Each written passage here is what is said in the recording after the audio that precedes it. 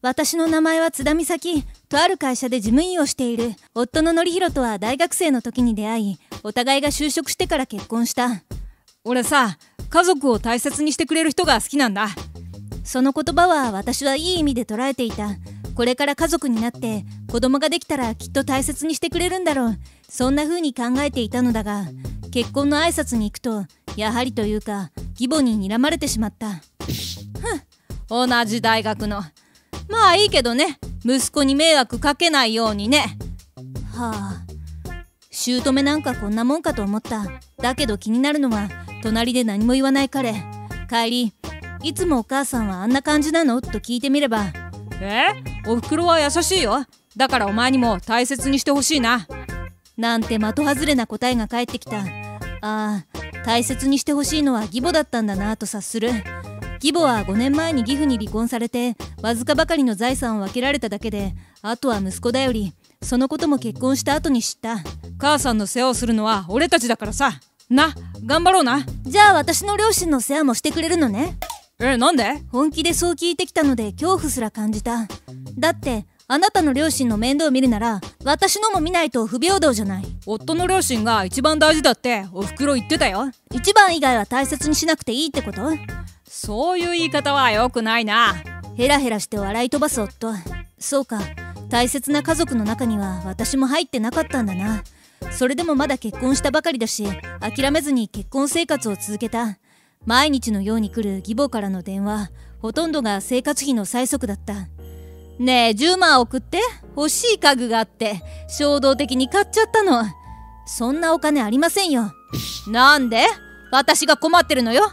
いいわよ。典弘にお願いするから。それからすぐに夫に電話したようで迷いなく10万を送っていた。咎めたらむしろなんでお前はお金をやらないんだよ。母さんあんなに困ってたのに。とキレられた。あのさお母さん元気じゃない。働いてもらったら老後の蓄えもないんでしょ。ちょっと前まで父さんを支えてて疲れたって言ってたから働けないよ。今はもうゆっくりさせてやりたいんだって。義父がいた頃は専業主婦だったらしい。なんか釈然としなくて私は夫から問い詰めて聞いた義父の連絡先に電話をかけた。おお典弘の奥さんかい。結婚おめでとう。はいそれでお母さんのことを聞きたいんですが。え？そこから聞いたら義母は全く家事をしていなかったそうだ。おまけに散財していたようで貯金を泣く泣く崩して払う時もあって離婚は我慢の限界だった模様とにかく関わらん方がいい。典弘もあいつのことを信じてべったりだったからなそうだったんですね。最後に義父は何か困ったらまた連絡してきていいからと言ってくれたのがありがたかった。私は義父と話したことを夫にも言ったがまるで信じなかった。母さんを貶めるな。俺を育ててくれたのに。お父さんだって生活費を稼ぐために働いてくれてたんじゃないの？怒ってばっかりだった。親父なんて大嫌いだ。しつけの範囲内で怒られたことをずっと夫は根に持っていた。義母は甘やかしてばかり買ったお菓子を与えてばかりだったから大好きになったのだろう。あそうだ。母の日は必ずプレゼント送ってくれよ。もう家族だし。まあこれ以上悪くなるのも嫌だったしもしかしたらプレゼントで仲良くなるかもしれない。私は結婚してから数年はきちんと母の日に贈り物を送った。お花と一緒にブラウスとかバッグとか。あらあら悪くないわね。もらっておくわ。よかったですありがとうの言葉はもちろんない。こんな人に何を求めているんだろうか。なんて思いつつ夫と義母の買い物に付き合っていたある休日義母の知人とばったり出くわした。あら久しぶり。あらサナさん。適当な挨拶をした後私のことを娘さんと義母に聞いた。そしたら義母が「娘だなんてとんでもない。嫁よ」と全否定娘みたいなものじゃない。嫁は嫁よ。娘だなんてやめてちょうだい。そんなにまで否定することなの？私がいるのに？じゃあ母じゃないんだからいらないじゃんって思い母の日のプレゼントをやめた。次の年からやめて夫に連絡がいったようでまた怒ってきた。おい母の日のプレゼントはなんで送っていないんだ？だって私は娘じゃないから。っていうかあんたの母親なんだからあんたが送ればいいだけじゃん。バカなの？娘のお前の役目だろ。だからそう思われてないでしょ？あんたも隣で聞いてたよね？忘れたの？そう言い返したら夫は不機嫌になって自分の部屋にこもってしまった。離婚のことが頭によぎり始めた頃義母がとんでもないことを言い出した。アパート出ろって言われちゃったの。助けて。えー、なんとさまざまなところから借金して義母は家賃滞納してアパートの退去を迫られていたのだ。しょうがないな。引き取るか。は？私の意見なんて一切聞いてくれずに決定事項としていきなり言われて借りている 3LDK のマンションの私の部屋を一方的に義母の部屋にされた。よろしくね。ああ。義母はもちろん家事はしない。ダラダラしてるだけ。おまけに夫に小遣いもせびっていた。当時結婚6年目だし子供もできないしこりゃ本気で離婚した方がいいかな。まだ30代だしなと思って離婚を切り出そうとタイミングを見計らっていたらなんと義母に癌が見つかったああと1年だって。そんな。市で行われている健康診断には10年前に行ったきりだったようだ。その時も再検査と言われていたようだがいかず癌はもう取り返しのつかないほど大きくなっていた。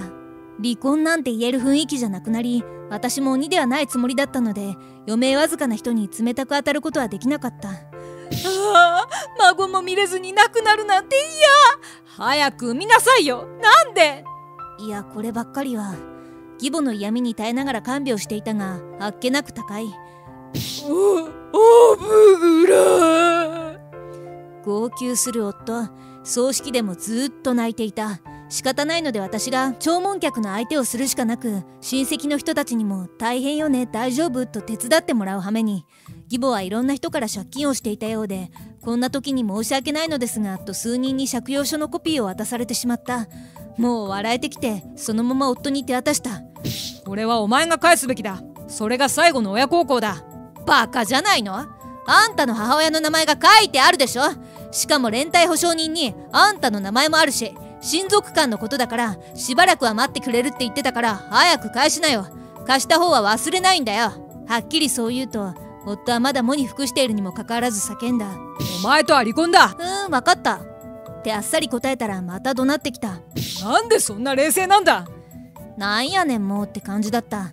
母の日のプレゼントを送らないし俺の母を自分の母だとは思ってなかったってことだろ。家族だとは思ってなかったんだろ。うんだって散々嫌なことも言われたしね。嫌なことを言う人を母親だと思えなんて無理でしょ。あんただって私の父さんに嫌味言われてるのに父だと思えるの？そういう問題じゃない。どうでもいいけどとにかく離婚ね。おい。まさか私が泣いて「ごめんなさい離婚したくないです」とでも言うと思ったのだろうか。すごい自信だ。私はやるべきことを全てやった後弁護士を立てた。お墓も買える金もなかった夫は呆然としていた。本気か？あなたが言い出したんでしょ？おお前が態度を改めるなら。あんたが言うの？とにかく離婚したいから反抗して。夫はもうお金がなかった。なんせねだられるまま義母にあげていたからだ。私と別れたらどうなるか予想くらいできたのかごねていたが最終的には離婚できた。二度と関わらないでね。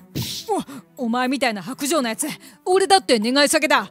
おふくろだって泣いてるぞだからあんたの母親がどう思うなんて私には関係ないし何とも思わないわよ。バッサリ切り捨てるとまたポカン。どんだけ自分の母親が大切にされると思い込んでたんだよ。私はさっさと夫を忘れるために持っていた家具や服を一旦売り飛ばした。マンションも出て新しい部屋を借りて。こんなにすっきりとした気持ちになるなんてね。早く離婚すればよかった。晴れ晴れとして自分の時間も持てるようになってしばらくは仕事そして趣味映画鑑賞ジムにも行ってみたりと楽しく過ごしていた。そんな中出会ったのが修だった。友達が紹介してくれたが私は離婚から1年ぐらいしか経ってなかったしまた失敗するのが嫌であまり乗り気ではなかった。会うだけ食事だけを数回してから告白プロポーズされた。美咲さんの事情も知ってます。それでも好きです。結婚してください。正直怖かった。元夫も最初は調子が良かったしそういう気持ちも汲んでくれる彼を信じ私は再婚を決意した。嬉しい。ありがとう。幸せにします。うん。結婚してからしばらくは内心ビクビクしていた。でも修はどんなに時間が経っても優しく思いやってくれたのでだんだんと不安はなくなり信じられるようになった。子供2人恵まれ本当に幸せだった。出会った時はちょっと不安だったのに受け止めてくれてありがとう。そうなの？僕を信じてくれてこちらこそありがとう。何度も何度もありがとうと伝える。そんな満ち足りた中突然元夫から連絡が来た。連絡先を変えておけばよかったと後悔する。はいもしもし？何の用？ああ久しぶり。元気してた？何してるかなってさ。別にあなたには関係ないです。そんなこと言わないでくれよ久しぶりにお前のお料理食べたくなってさうち来ない？できたらさ材料とか持ってきてほしいっていうか。ああお金の催促か。一瞬で理解する。義母の作った借金も返せていないのだろう。無理です。私には家族がいるので。それって俺のこと？嬉しいな。そうだよな。俺たちは家族だもんな。違います。再婚してるんで子供もいるのでもう電話をしてこないでください 再婚？ななんで？どうしようが私の自由でしょ？お袋には子供を見せられなかったのに。なんで？もういい？切りますね。ちょちょ待って！お願い！本当のことを言うとさ生活苦しいんだよ。離婚しても家族だろ？な助けてくれよ。本音を言ってきたがますます嫌になっていく。なんでこんなやつと夫婦になったんだろうか。家族？私の家族は今の家族だけです。あなたのことは。天国にいるおふくろに申し訳ないと思わないのか？電話口で絶叫する元夫。話は聞かない。お母さん大好きなのは変わらないのか。借金まで返しているというのに。これ以上何かを言うならお父さんに連絡します。え？ななんで親父が出てくるんだよ？あのさお母さんの行動をもう一回見直した方がいいよ。亡き人を悪く言いたくはないけど母さんは何も悪くない。俺をいつだって愛してくれてた。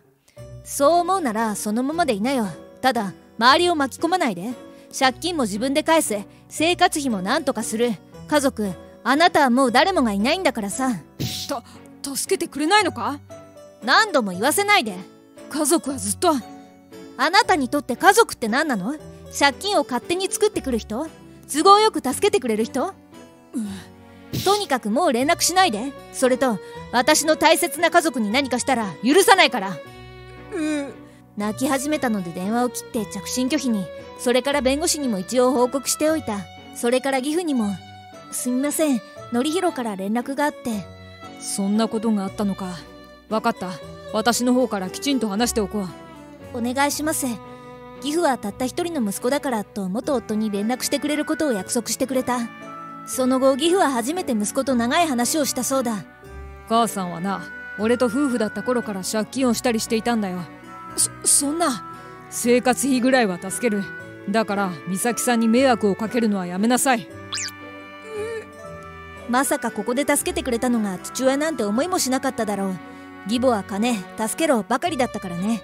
本当に自分を思っていたのは誰だったかようやく分かったことだろう。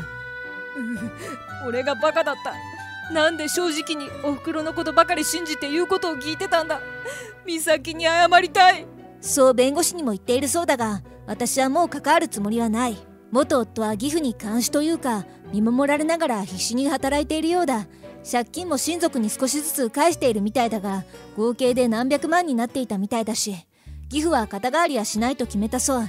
義母のことは赤の他人だからと。当分は贅沢もせず働くしかないだろう。大好きだった母親のためにね。私は一連のことを全て夫には話した。ある意味かわいそうな人だね。そうかもしれないね。でも私が義母に苦しまされてる時に何もしてくれなかったから母親以外はどうでもよかったのかも。そのおかげで別れて僕も結婚できたからいいとしておこうよ。うんそう思っておくよ。大事なのは今の家族だしね。余計なことはとっとと忘れて家族のために生きていこうご視聴ありがとうございました。また見てね。